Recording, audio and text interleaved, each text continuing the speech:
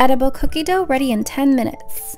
First, we're gonna lightly toast the flour for about five minutes on medium heat. Stir this every so often, and then we're gonna cream together the butter and two sugars. So just cut the butter into pieces and mix until it's smooth and creamy. Now add vanilla, a pinch of salt, and almond milk. Mix this together, and then slowly add in the flour while mixing.